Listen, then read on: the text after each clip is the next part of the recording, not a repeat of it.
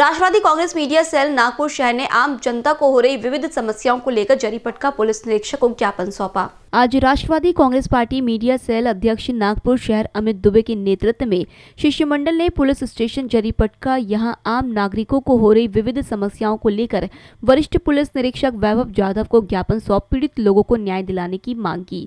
इस अवसर पर सुनील लवहात्रे, राजेश देशभ्रतार, सुशांत गणवीर किशोर चौहान गीता शुक्ला दुर्गा रंगारी मनोज गणदेवार वंदना गोंडाने रागिनी नगरारे इत्यादि भारी संख्या में उपस्थित थे। हाँ। नमस्कार। मैं अमित दुबे राष्ट्रवादी कांग्रेस मीडिया से जिला अध्यक्ष नागपुर शहर। आज मैं और हमारा शिष्टमंडल पुलिस स्टेशन जरीपटका यहाँ माननीय वरिष्ठ पुलिस निरीक्षक श्री वैभव यादव इन्हों इन, इन्हें विविध समस्या को लेकर हमने आज ज्ञापन सौंपा है। समस्या एक नहीं दो नहीं तीन नहीं चार पाँच समस्या है। जैसे कि अ, हमारे बाजू में अ, हमारे कार्यकर्ता राजू देशभक्तार करके इन्होंने अ, एक एफडी खोला था सहारा इंडिया में।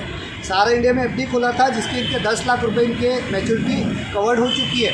मैच्योरिटी होने के बाद भी इनके पैसे में नहीं लौटाए जा रहे। पिछले दो साल से निरंतर ऑफ़िस के चक्कर काट रहे हैं और अब दशा ये है ये कहते हैं कि मैं परिवार के साथ में आत्मदाह कर लूँगा, क्योंकि आप सभी जानते हो कोरोना काल में लोग पैसे से टूट चुके हैं। बावजूद खुद के पैसे के लिए दर बदर भटक रहे हैं, इन्हें न्याय नहीं मिला। इन्होंने राष्ट्रवादी कांग्रेस मीडिया से लेने, हमारे नाम से तकरार दिया है। इन, इनकी तकरार पे हमने माननीय वरिष्ठ पुलिस निरीक्षक जेरीपटका को ज्ञापन दिया कि इन्हें न्याय मिले। कैमरा पर्सन राजकुमार मोहड़ के साथ अभिषेक पांसी बीसीएन न्यूज़ नागपुर।